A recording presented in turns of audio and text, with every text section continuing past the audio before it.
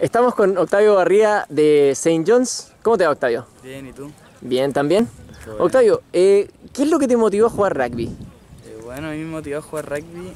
O sea, la primera vez que empecé a jugar rugby fue porque mis compañeros me dijeron y yo lo encontré ya, bueno, un deporte que hacer con mis amigos y me di cuenta que es un deporte que en verdad te hace miedo para toda la vida y hace compañero.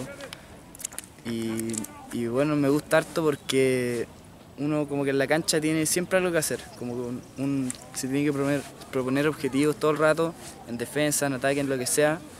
Y en comparación con otros deportes, em, como que me gusta harto que sea de contacto, por ejemplo, que igual como que no soy muy, buen, muy, muy habilidoso con los pies, por ejemplo, el fútbol y todo eso, pero Octavio, ¿y cuál es tu recuerdo más alegre en el rugby? El momento que realmente disfrutas en, en la cancha.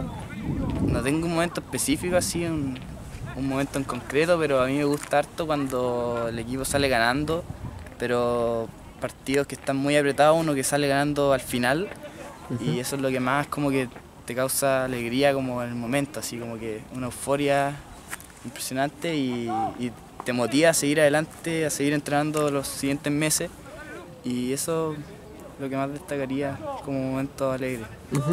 Y hablando de partidos difíciles, em, ¿cómo, estuvo, ¿cómo sentiste tú hoy día Colegio Macay en la cancha? O sea, lo, sentí súper duro, así sentí que no nos costaba harto pasar y uno lo puede ver si quiere en el video, que no que llegamos pocas veces a zona crítica y es un equipo duro, un equipo con buena defensa, un equipo que siempre adelante y igual es como un partido interesante jugar. Es un equipo distinto a los demás yo encuentro, porque por la manera que juegan son súper duros.